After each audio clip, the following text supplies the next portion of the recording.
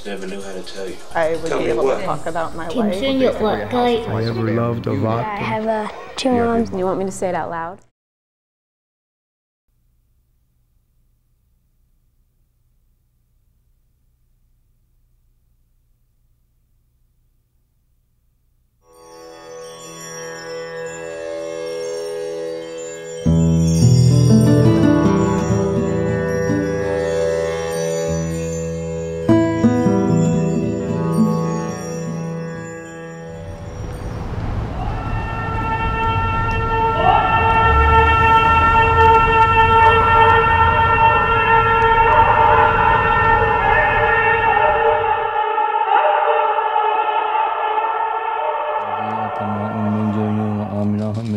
من خوف بسم الله الرحمن الرحيم أرأيت الذي يكذب بالدين Uh, The Quran is very specific on the issue of homosexuality.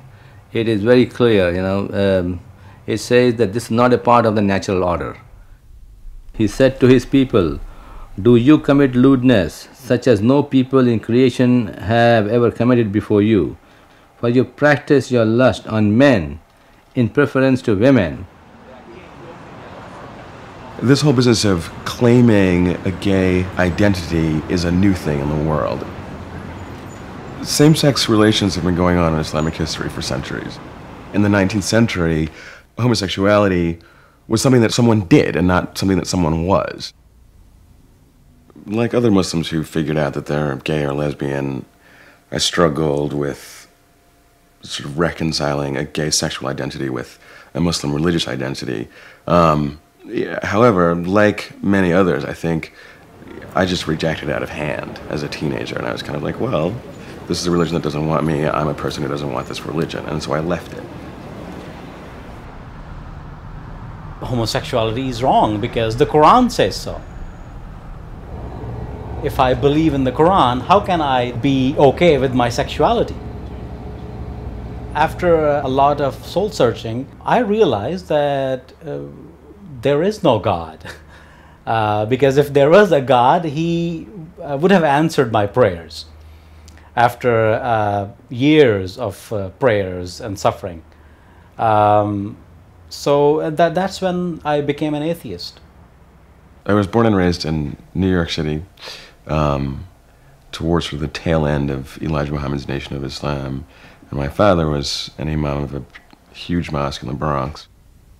As the oldest son of the imam, I was expected to uphold traditional values and do all the right things in, in, in every situation, but none of that really changed the fact that I like boys. I told my mom when I was 15. Actually, she found out. She was not pleased.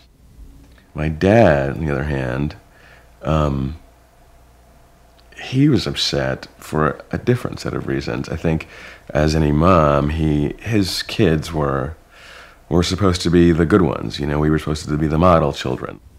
There's a matter of sort of public embarrassment if other people were to find out that his oldest son was a homo. I am not out to my family yet. Well, of course, they want me to get married, but I am uh, not gonna marry and I'm not gonna get into a fake marriage and make some poor girl's life miserable. How can you live this double life? On one hand, you believe in God and then you sleep with men.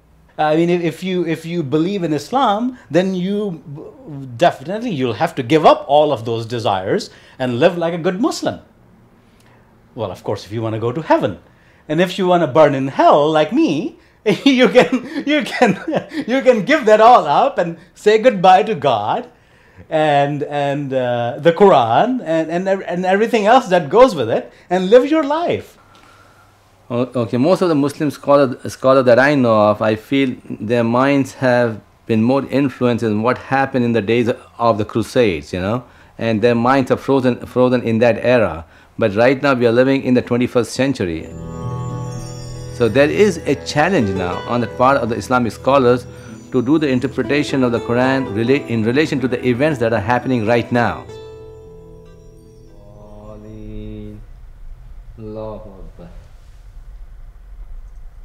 The Islamic teaching goes this way. They say God has created a man and a woman in his image.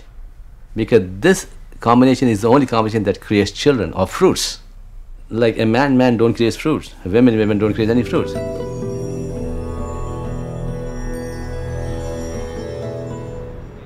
After a couple of years of searching, I found myself sort of thinking of myself as a Muslim again.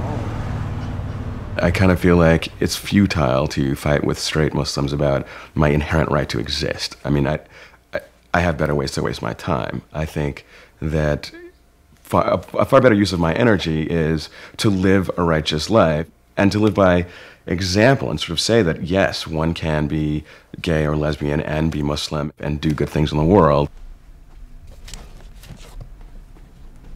What human being can tell me that I cannot have a relationship with God? Who the hell gave them the right? For someone to claim, be he Muslim, Jew, Christian, that I have no right to it because of my sexual identity is bullshit, and I reject it. We are who and what we are, and nothing is really going to change that.